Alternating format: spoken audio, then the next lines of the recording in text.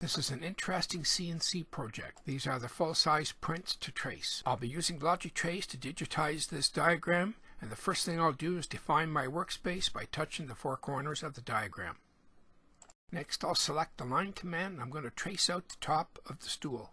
Easy, quick, and accurate.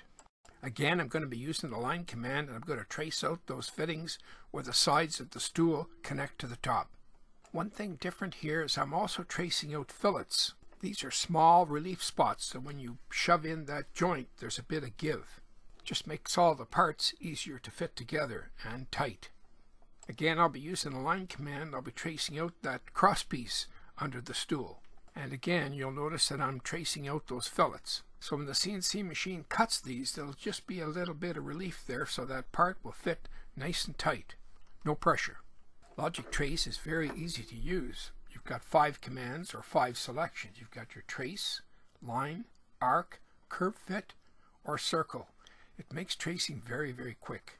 A unique feature of the program is the ability of the program to extend the control window to another device like a cell phone or an iPad. This would enable you to make those selections, trace, line, curve fit, right close to where you're tracing. I find Logic Trace easy to use and it's fast and has the ability to be saved in different formats like DXF, PolyDXF, SVG, or PDF. Here I'm saving in the DXF format because it's for the CNC machine.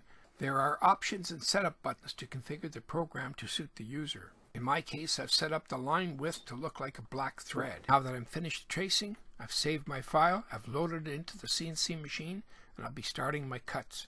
I'll be using a quarter inch carbide end mill to do the cutting. I used a veneer particle core for the sides of the stool and I used a melamine for the top, a white melamine. I also tabbed all the parts so they wouldn't come flying out after they're cut.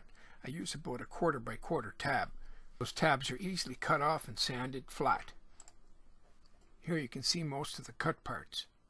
I used a pre-finished material so the step stool once assembled it's finished and looks good.